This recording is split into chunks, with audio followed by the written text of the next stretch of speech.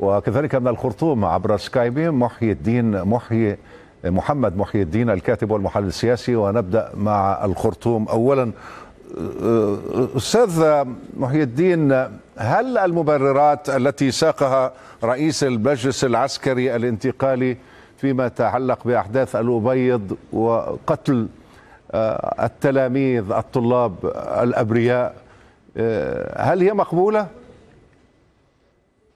طبعا هو لم يتحدث عن مبررات بقدر ما انتقد وأدان هذا العمل. ولكنه تنصل من المسؤولية وهو رئيس المجلس عسكري انتقالي. لا لا شخص يستطيع أن يبرر حدث في ولاية شمال كردفان وهناك حاكم للولاية وهناك أجهزة تتولى هذا الأمر، هذا لا يعطيه من المسؤولية بحسبان أنه الرئيس الذي يدير البلاد ولكن المسؤولية تنتقل على مستويات مختلفة. فهي مسؤولية من قاموا بهذا العمل ومسؤولية الحكومة هناك ومسؤولية الأجهزة الأمنية بالضرورة. قوات الدعم السريع رئيسها رئيسها هو حميدتي الوالي هو أيضا تحت إمرة رئيس المجلس العسكري. فلماذا لا يتخذ أي إجراء لم يتخذ حتى الآن أي إجراء بحقهما. طبعا المبدأ الأساسي لتحقيق العدالة هو تحديد مستوى مسؤولية كل شخص. عن الفعل أو الامتناع عن الفعل، بالتالي الحديث عن تشكيل لجنة للتحقيق في هذا الأمر هي من تحدد من قصر ومن أمر ومن فعل هذه الأشياء، ثم بعد ذلك يتم تحديد هذه المسؤولية بشكل دقيق ويتم معاقبة المسؤولين عنها. أنا أعتقد أن هذا الأمر تكرر كثيرا يحتاج إلى معالجة لكن هناك أوضاع استثنائية في البلاد. يعني نحن نعلم أن المتظاهرين والمحتجين وقوى الحرية والتغيير مارست ضغطا كبيرا على أجهزة الشرطة وجهاز الأمن والمخابرات ما أدى لانسحابها من من المشهد وفي ظل ظروف أمنية معقدة تمت الاستعانة بهذه القوات لتوفير تأمين للمرافق الاستراتيجية كجزء من توزيع المهام بين الأجهزة الأمنية في البلاد. من من من, من الذي استدعى هذه القوات برأيك؟ من الذي قال لهذه القوات أطلق الرصاص على التلاميذ على طلبة المدارس؟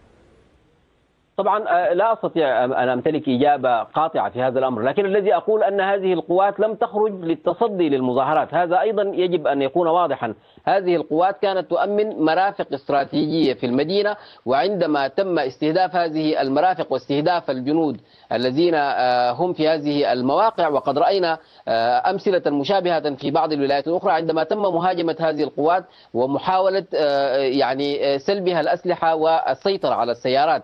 بالتالي رد الفعل ربما كان لحظيا قائما على إحساس الجنود بالخطر. هذا لا يبرئهم من من المسؤولية ولكن توصيف الأمور بالشكل الدقيق يساعد في معرفة إن كان هذا الفعل فعلا مقصودا أو وراءه جهة أو وراءه فكرة محددة لقتل المواطنين، لا أعتقد أن أحدا يمتلك الجراءه ليصدر امرا بقتل الطلاب، ولكن الأفعال وردود الأفعال تحدد طريقة الاستجابة.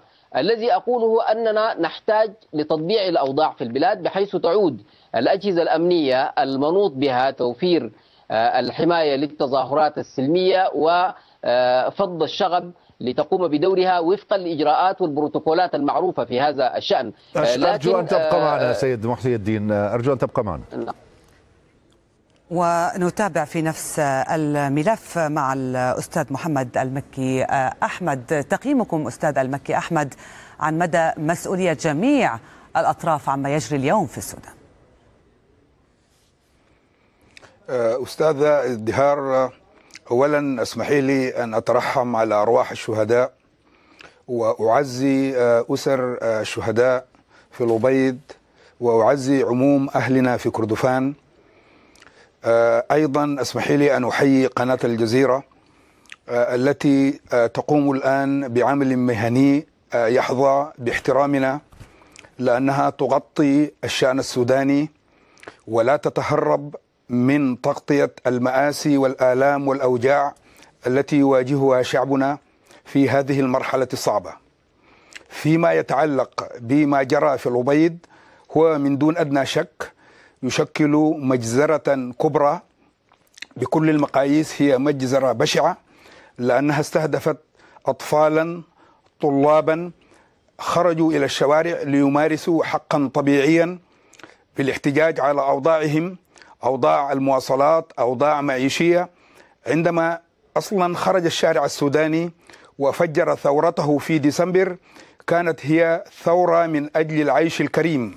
والعيش الكريم لا يستثني الخبز لا يستثني أستاذ الحريات أستاذ محمد تحملون لا. من لا يستثني؟ حرية الخروج تحملون من المسؤول المس... المجلس المجلس العسكري هو المسؤول الأول والأخير عن هذه المجزرة لأنه هو الحاكم الفعلي للبلاد الآن مهما حاول المجلس العسكري أن يصدر من بيانات أو من أقوال أو من تصريحات فهي لن تعفيه على الإطلاق مسألة تكوين لجنة لتقصي الحقائق هذه لا تقدم ولا تؤخر.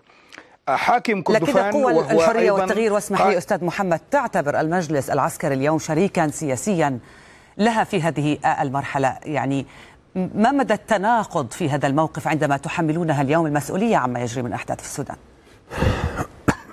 نحمله أيضا نح- نحمله بأفعاله عندما يرتكب أي جرائم آه، عندما تتم أي جرائم وهو الحاكم الفعلي ندين المجلس العسكري ونحمله المسؤولية. فيما يتعلق بالشراكة المجلس العسكري آه، عندما ثار الشارع السوداني واحتصم بالملايين أمام القيادة العامة للقوات المسلحة أعلن أن القوات المسلحة السودانية قد انحازت إلى الشعب السوداني.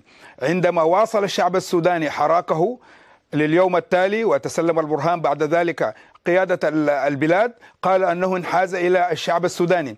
عندما أعلن انحيازه إلى الشعب السوداني كان طبيعيا أن نتحاور معه وأن نتفاوض معه وأن نتكلم معه حول كيفيات انتقال السلطة إلى المدنيين. الآن الكلام يتم حول انتقال السلطة للمدنيين. لا يتم حوار ودي أو حوار لتبادل النكات أو حوار لتبادل الأفكار. هو حوار من أجل الانتقال إلى سلطة مدنية. ولذلك فالحوار هو مبرر. لكن عندما يرتكب المجلس العسكري أو عندما تتم أي جريمه وهو الحاكم هو الآن المجلس العسكري متهم بكل المقاييس. في ظل لأنه ما- هو الحاكم. الفعلي للبلاد. التفاوض أو الحوار هل ما زال واقعيا في ظل هذه الأحداث؟ الآن الخيار المتاح هو أن آه، يستكمل الجانبان آه، عملية تسليم السلطة للمدنيين. نحن آه، رغم الجراح ورغم المواجع ورغم الآلام الشديدة آه، نريد انتقالا سلسا للسلطة. لا نريد المزيد من سفك الدماء. نريد أن يسلم المجلس العسكري السلطة لحكومة مدنية. تسليم السلطة لحكومة مدنية هو الحاجز وهو المانع الوحيد الذي يمكن أن يحول دون إراقة المزيد من الدماء. ولذلك حسب معلوماتي آه، الوفد آه، وفد قوى إعلان الحرية والتغيير الذي آه، زار الأبيض وزار أيضا أسر الشهداء والمصابين وعدد الشهداء خمسة والجرحى ستين وهناك 14 جريحا وأحد ال- ال- الأشخاص قد ضرب طلقتين في بطنه. آه، الآن ال- هذا ال- ال- الوفد الآن تحرك من الأبيض في طريقه إلى الخرطوم حسب معلوماتي آه، إذا صحت المعلومة هناك جلسة للتفاوض غدا.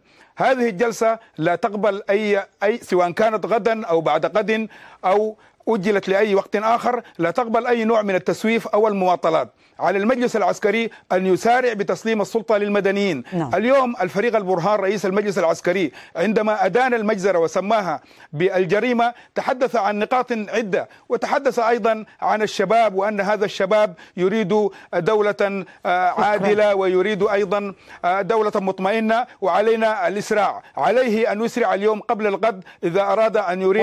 أن يحفظ دماء لك. السودانيين ويحون دون إراقة الدماء. شكرا لك من لندن الكاتب الصحفي محمد المكي أحمد عضو التجمع المهنيين السودانيين. شكرا أيضا